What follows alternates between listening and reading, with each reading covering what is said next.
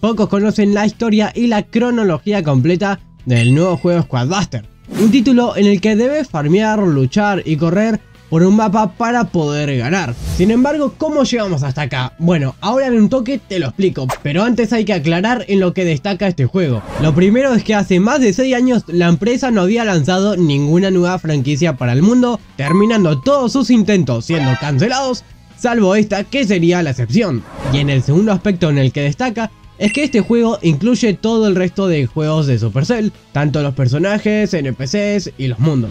Pero para conocer su historia debemos irnos hacia el principio, en el momento en el cual surgió. Y a partir de ahora voy a poner un gameplay para que ustedes puedan entretenerse un poco viendo la partida mientras hablo, pero sobre todo prestándome atención a lo que voy diciendo dado que no estoy teniendo mucho tiempo para poder editar como me gustaría. Cada tanto voy a poner alguna imagen, un icono o algún video de acuerdo a lo que estoy diciendo, pero en general solamente el gameplay. Bueno, se desconoce con certeza la fecha o el año en el cual comenzaron a desarrollar el juego, pero según un artículo que encontré, ya en el 2020 el juego estaba en pleno desarrollo y tratando de adquirir un sentido, pero según esto, el juego, va, mejor dicho, la idea, fue cancelada dado que el concepto no parecía lo suficientemente bueno, al menos momentáneamente. Pero un tiempo después, el desarrollo del juego fue retomado, trayendo al equipo de desarrollo trabajadores más experimentados que previamente estuvieron en Clash Royale y Clash of Clans. Hablando ya de hechos y fechas concretas, el 31 de enero de 2023, Squadbuster estrenaría su canal de YouTube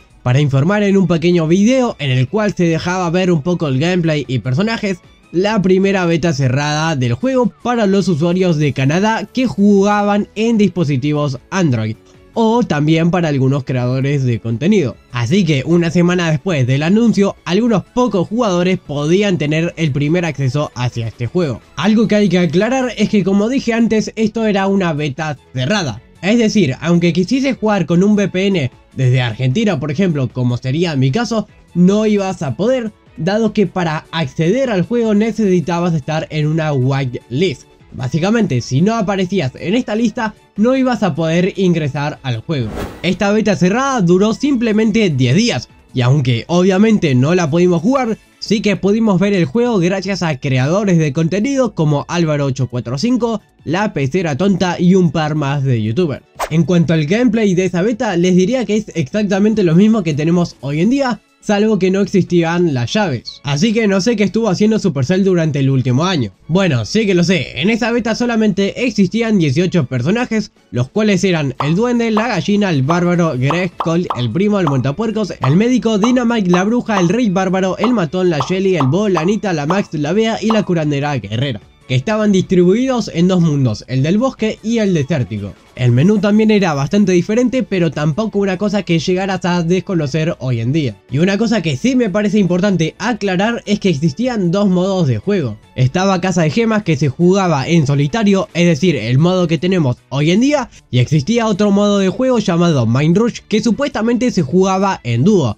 Y digo supuestamente porque este último modo estaba bloqueado y nunca se pudo jugar, pero sí que lo pudimos ver. Luego que finalizara esa beta no vieron noticias en ninguna red de Supercell ni de Squadbuster, cerrando así la primera etapa del juego. Casi tres meses después, Squadbuster anunciaría la segunda beta, junto con otro video, esta vez dirigido por P. de Paula, diciendo que a partir del 22 de mayo de 2023 estaría nuevamente abierta la beta, pero esta vez además de Canadá se incluiría México y España. No me quedó muy claro si era una beta abierta o cerrada porque mencionaron que habían cupos limitados, pero a la vez no encontré ningún link para poder inscribirse en ese entonces, salvo el servidor de disco. Así que supongamos que sí, que fue otra beta cerrada en la cual necesitabas estar en la whitelist. No hubieron muchos cambios, pero agregaron las fusiones, los modificadores, las decoraciones y el mundo royal con sus nuevos personajes y monstruos, como la babosa de chicle, digo digo, el golem de elixir. Y justamente hicieron que aparezcan más NPCs en los mapas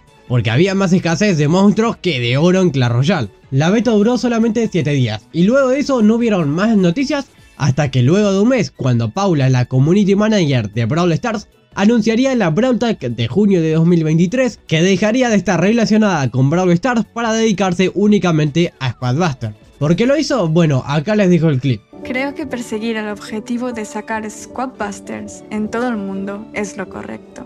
Pero por favor, no estéis tristes si no vuelvo.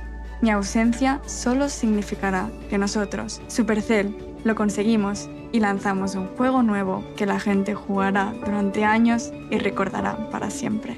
Básicamente cambió un proyecto estable y en crecimiento como Brawl Stars por un juego en fase beta y que en general no había destacado demasiado. Y eso fue lo último que supimos durante meses. Y ahí presta atención porque esto es algo que es importante que sepan para que puedan entender algo que les voy a explicar en un ratito. Y es que al mismo tiempo que se estaba desarrollando y testeando Squadbuster, a la vez estaba Clash Mini, un juego que también estaba en pleno desarrollo pero en fase beta. Y al no haber ninguna noticia o señal de vida de Squadbuster, la gente pensó que dejarían el juego. Sumado a eso, Supercell anunció al principio de 2024 que Clash Mini, el proyecto que llevaba casi 3 años, sería cancelado agravando así más la situación de Supercell, dado que ahora dependerían únicamente de Squadbuster para poder lanzar un juego mundialmente. Y sí, parece que me estoy yendo del tema sobre la historia de Squadbuster, pero deben entender que Supercell está sostenido por inversores que apuestan por ellos. Y aunque está muy bien que quieran mantener un estándar de calidad para todos los juegos y lanzar únicamente juegazos ultra tops, también deben ponerse en los pies de los inversores que estaban justamente invirtiendo dinero